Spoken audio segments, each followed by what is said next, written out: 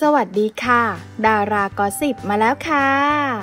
FC กรี๊ดแตก นายหย่อนรูปคู่ใบเฟิร์น ช็อตนี้ขอเชียร์เป็นแฟน โคตรเหมาะสมเป็นแฟนกันเถอะ มีโมเมนต์น่ารักน่ารักจนแฟนคลับยังแอบลุ้นเชียร์สำหรับคู่ของนางเอกสาวใบเฟิร์นพิมชนกกับพระเอกหนุ่มนายนภัสล่าสุดนายใบเฟิร์นเข้ากองถ่ายละครสร้อยสะบันงาอีกครั้งหลังพักกองกันไปหลายเดือน งานนี้คู่จิ้นกลับมาเจอกันอีกครั้ง ก่อนจะขออวดช็อตหวานสักนิดหลังกลับมาเจอกัน และนี่เป็นภาพคู่ในรอบ 6 เดือนค่ะ ทำเอาแฟนๆแห่กดไลค์คอมเมนต์สนั่นเชียร์ออกสื่อไปเลยว่า เปลี่ยนจากคู่จิ้นเป็นคู่จริงได้ไหมอะเป็นแฟนกันเถอะ ไงน่ารักจิ้นหนักมาก โคตรเหมาะสมกันเลยค่ะ